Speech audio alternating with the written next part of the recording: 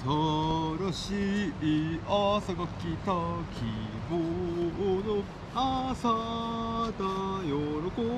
びに胸を開き青空青けということで本日もねとってもいい秋晴れでございます。紅葉とピステンかっこいいでしょ。うそれでは今日は260オイル交換やっていきましょう。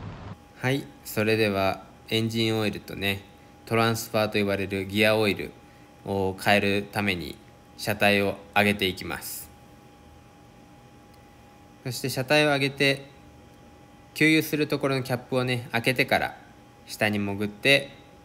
オイルを抜いていきます。この下に潜る時にねまあ僕の下に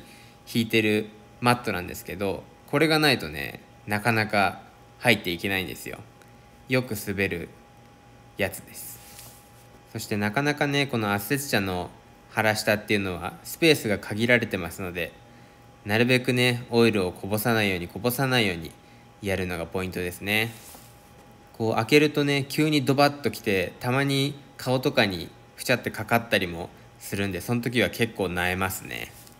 これは結構僕の中でも成功パターンの上位にいる抜きですね。でまあ映像ではねカットしてるんですけどもうね滴ってこないぐらいまで時間を置いてから締めております。そして20リッターも入ってるんでねこれを押し出すのも結構大変なんですよ。お次はトランスファーのギアオイルを抜いていきます。なかなかこの時期ここまでね晴れる日っていうのも少ないのでもうこの日にかけてねオイルをバンバン抜いてバンバン入れ替えてやっております。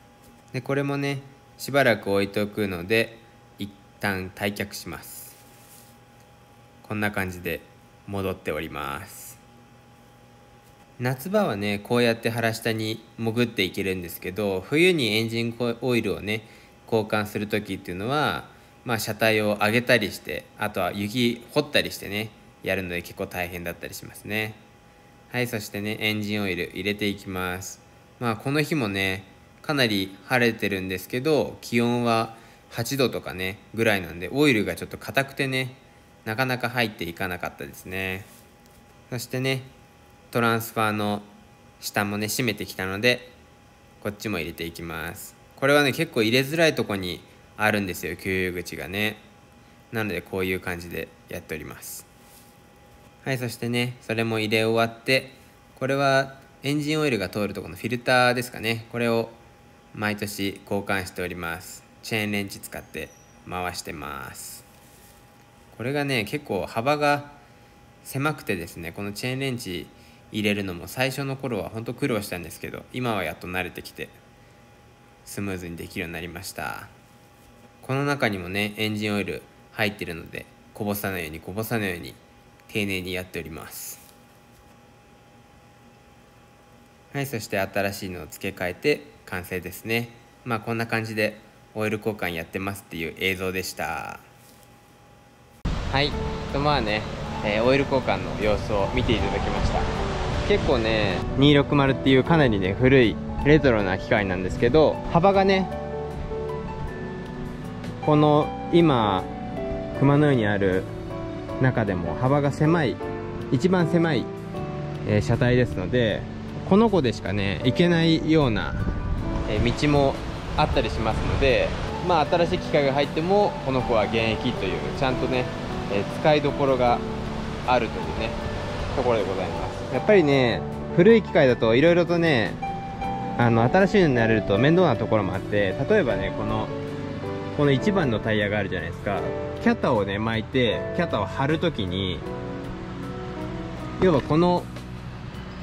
これを回してってこの1番が出てってキャタ張るんですけどあの最新の最新のねアセ車だったらもうコックピットの中でボタン1個でこの1番がググググっと、え、出てきて、え、キャタが張れたりとかこれをね回してねキャタ張るのすごい大変なんですよ。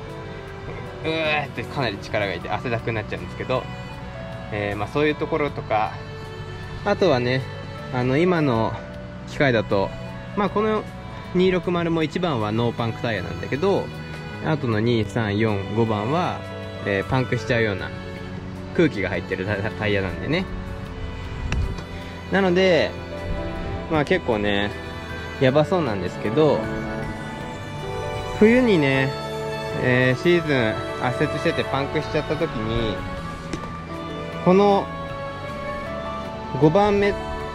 がパンクしたらかなり面倒くさいんですよ。